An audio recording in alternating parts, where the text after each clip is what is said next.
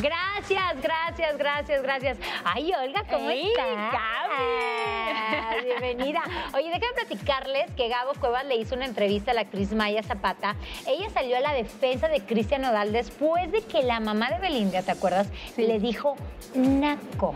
Estamos recordando que Maya Zapata pues tiene esta iniciativa de Poder Prieto Así sobre la discriminación y todo eso, Olga. Y pues sí es un problema muy, muy, muy grave. Ha sido una vocera de este cambio justamente para eliminar conceptos, narrativas y acciones que hemos normalizado que llevan al racismo, que eso es algo básico que tenemos que cambiar todos. Pero ¿qué te parece si vemos Vamos la nota? Vamos.